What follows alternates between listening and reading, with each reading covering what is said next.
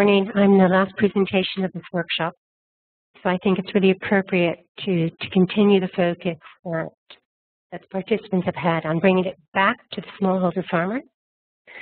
Um, talking about income, talking about food security, but also bringing it back to nutrition and resilience, and bring us back to a workshop aim to move from a project mode to a sustainable non-project mode. Uh, very briefly, I don't think many of you know me. Um, I've worked for, CI, for the CGIAR for a number of years, but particularly for the Pan-African Bean Research Alliance. That alliance, PABRA, did reach 18.3 million people in a decade, so you might want to look at it as a case study. And then second, I also work in high stress. Um, so I've led the U.S. government assessments in Haiti after the earthquake, in Rwanda after the genocide, pre-referendum in South Sudan. So it's um, it, it's from high stress to commercial farmer. Okay, very briefly, I am here representing Syngenta on a study which Mark very kindly stimulated, just to show you that there are a series of briefs that you might want to look at for your planning this afternoon. They're very practical, very advice. So if you have to scale up demand, which we haven't talked about, what might you think about? You know, if you have to scale up access to finance, what are your options? So do take a look. Okay, um, just to give the context, you know, we've been talking a lot about seed systems. Not everyone here is a seed system expert. Generally, across the world, farmers are involved in two types of seed systems. There's the outer ring, which is the red, which is the formal seed system. So that's improved varieties, certified seed. So that might be the government, the commercial sector, or relief. There is the inner circle, which is sometimes called traditional, local, informal seed system. And that's harvests, your own stock. It might be exchange or it might be local market. The latest data worldwide, very rigorous, shows that about 89% of the seed that farmers use, small farmers use, so 90% comes from this inner loop. We've been focusing a lot on the outer loop. So how do we start to integrate the two better? That's why I'm here. Uh, again, we've been focusing a lot in this talk so far, and we've done a superb job at the right, at the agro-dealer system, the seed companies. Then we have somewhere this public system, webinars. What we haven't talked about, which I'm trying to fill in a gap here, is the whole informal system, and I'm going to focus on markets because this is a market talk. Okay? This is a market panel. Okay, so these seed markets, these local seed markets, what is the extent of this market use? And I'm joined from a data set uh, stimulated by USAID. Um, it's the largest data set in the world on seed systems. And it basically says where does the small farmer actually get for his seed? Right now you can see it, six countries, Malawi, Kenya, Congo, Haiti, South Sudan, Zimbabwe. We have three more to add. But this is an evidence-based talk that I want to share. And then we talk about how this leads us to catalytic opportunities. Okay, what is the extent? This is a real surprise for us, 10,000 observations. What you see in the red is that 51% of the seed that farmers sow comes from local markets. So the stereotype is that small farmers save their seed. Right? Small farmers here, only about a third of the seed is saved.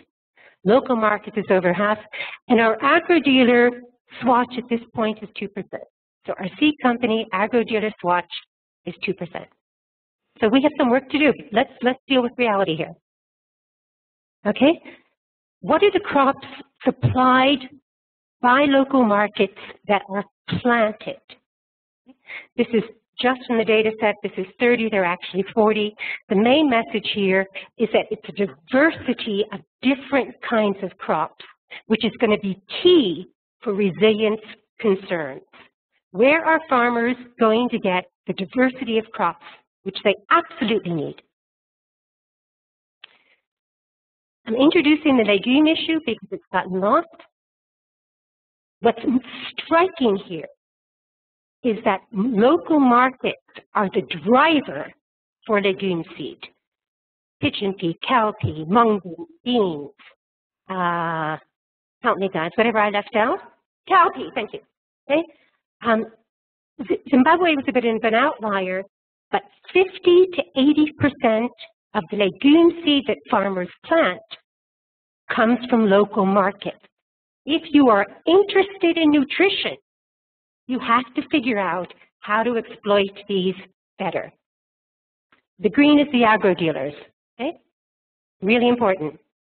This is helping us think. Gender, and I got maize because you guys love maize. And what I wanted to do here was to compare the markets for maize.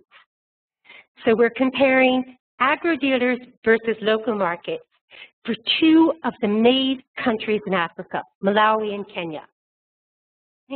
Where do farmers get the seed they plant?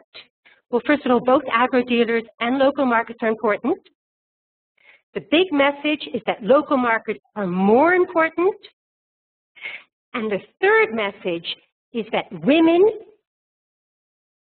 have a higher emphasis on local markets. Men have a higher emphasis on agro-dealers. There, there are gender differences in the channels you use. Last point, which is a shocker for all of those in research. Where do farmers get the varieties they absolutely have to get to make us productive? 68%, 70% of the time are government or NGO assistance. Non-sustainable channels, free awful. If you look at the commercial possibilities, 7% do come from agro dealers, so that's really important. But 14% of the cases of new varieties come from local markets. How can we exploit this better? Okay, so this is a lot of stuff, but just for key messages, these informal markets, which we haven't talked about so far, they provide the heart of the seed supply. This is important for food security. They presently provide the bulk of the legume seed, which is important for nutrition. They allow a wide range of crops, which is going to be important for resilience. And then they offer a place for innovation, for income. So remember we had that panel with these four guys and four chairs, and then we had um, Suzanne saying these are our four pillars thinking about how to support these markets allows us to address the four diverse pillars at once. But it's not the only option, but let's not leave it out. Okay, moving forward, how am I doing on time? Okay, move. Great, okay, perfect. Moving forward, I'm going to give just a single case. Thank you. I'm going to give a single case, a single thing about an area you can intervene.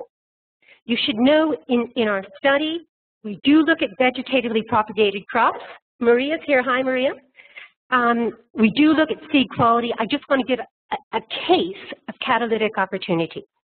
Okay, so moving to variety scaling goals, the first thing we have to do is increase the proximity of outlets to get seed to farmers. Agro-dealers are important. People use agro-dealers. What else can we do? These are well-known, evidence-based catalytic opportunities. You can license mom and pop stores where you go to get sugar, kerosene, salt. They can also sell seed. You can expand current seed sales at supermarkets, as is done in Kenya and Malawi, but mostly for maize and vegetable seeds. You can consign seed pack sales to large traders. These are the big guys in the chain, these large traders. Go to the markets.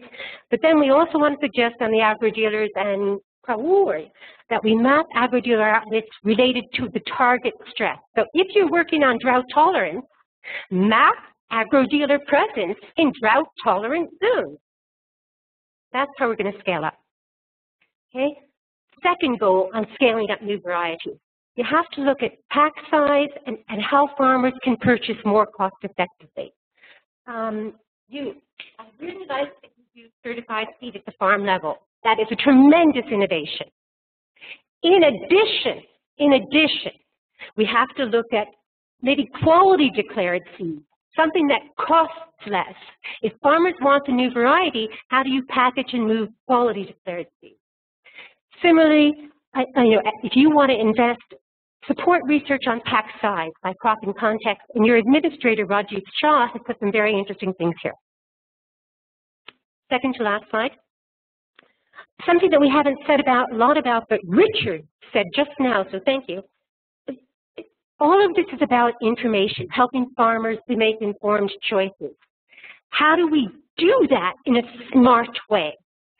We think there has to be higher investments, particularly in SMS two-way, not just getting information out, but getting feedback back. Did the, you know, and particularly, I went to the, what is the location of seed suppliers? If farmers want seed, where do they get it? Second, feedback. Did the variety work? Was the seed quality good? Did it live up to expectations? Third, in this two-way feedback system, you have agro dealers, you have farmers. How do you engage the large traders? Last slide, three closing points. Don't ignore the elephant in the room.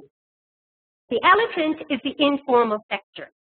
Now, this doesn't mean support the informal sector. It means consider integrated options to leverage the best of the formal and the best of the informal.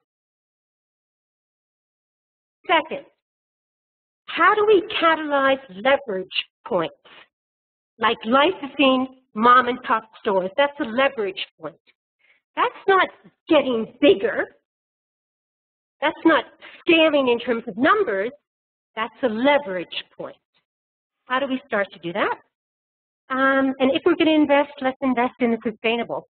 Seriously, let's, let's invest and work at scale to expand the structures that are already working at scale, make them better.